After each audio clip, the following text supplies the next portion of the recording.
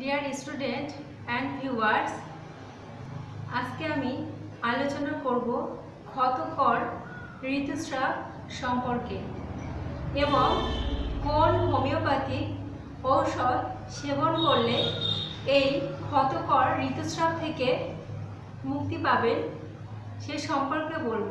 কিন্তু তার আগে বলে রাখি, যারা এখনও পর্যন্ত আমাদের চ্যানেলটিকে সাবস্ক্রাইব করেননি, প্লিজ আমাদের চ্যানেলটিকে সাবস্ক্রাইব করুন এবং পাশে থাকা বেল আইকনটি প্রেস করে নোটিফিকেশান অন করুন নিত্য নতুন ভিডিও পাওয়ার জন্য।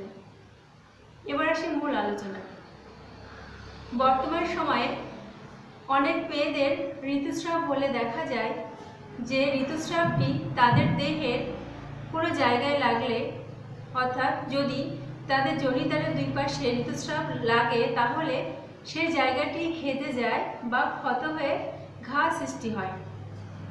তো আরও যেসব লক্ষণ দেখা যায়, যেমন তার মাথা যন্ত্রণা করে, অনেক সময় ঋতুস্রাবের আগে বা পরে তার কান বধির হয়ে যায়, অর্থাৎ সে কানে ঠিকমতো শুনতে পায় না। অনেক সময় ঋতুস্রাব হলে দেখা যায় প্রচুর পরিমাণ হয় কালচে হয় এবং এই স্রাবে দুর্গন্ধ থাকে।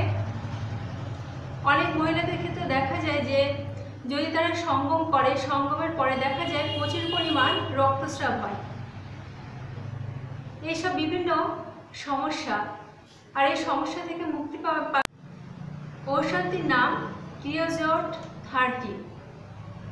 এই ঔষধটি আপনারা খালি পেটে পরপর তিন দিন, সকাল, দুপুর ও রাত্রে তিন ফোঁটা করে খাবেন। আশা করছি আপনাদের এই সমস্যা থেকে আপনারা মুক্তি পাবেন। তো আজ এই পর্যন্ত আবার একটি নতুন ভিডিও নিয়ে হাজির হব। সুস্থ থাকুন, ভালো থাকুন।